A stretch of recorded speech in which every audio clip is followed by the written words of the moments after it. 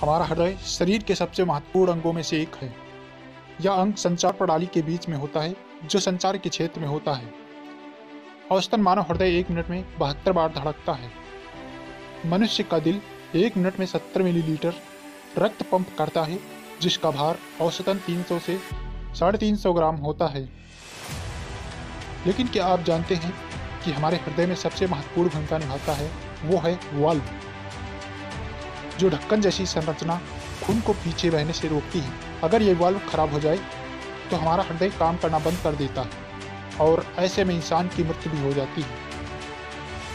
लेकिन घबराइएगा नहीं। वैज्ञानिकों ने इस नामुमकिन बीमारी से जीवित बचने के लिए सफल प्रयास कर लिया है। तो आइए जानते हैं कि वैज्ञानिकों ने हमारे हृदय को फिर से कैसे ट्रांसप्लांट किया है। दरअसल अमेरिका के डॉक्टरों ने एक सत्तावन वर्षीय मरीज़ में दस अनुवांशिक बदलाव करने के बाद सुअर के दिल का प्रयोग करके इतिहास रच दिया। है तेज़ी से बढ़ रही दिल की बीमारी और मानव अंगों की कमी के बीच डॉक्टरों ने इस जटिल ऑपरेशन से संभावनाओं का नया द्वार खोल दिया।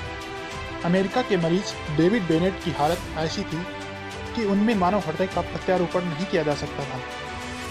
इसलिए उनके हार्ट को ट्रांसप्लांट कर सुअर के हार्ट को प्रयोग किया गया है। इस ट्रांसप्लांट को करने वाली मेडिकल टीम ने कई सालों के शोध के आधार पर इसे अंजाम दिया है, जो कि दुनिया में कई लोगों की जिंदगियाँ बदल सकता है। अब आपके मन में ये सवाल आया होगा कि सुअर का दिल ही क्यों लिया गया है?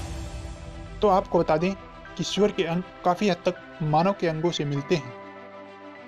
तो आप इन डॉक्टरों के प्रयास के बारे में क्या सोच रहे हैं, हमें नीचे कमेंट सेक्शन में ज़रूर बताएँ। वीडियो पसंद आई, वीडियो को लाइक ज़रूर करें।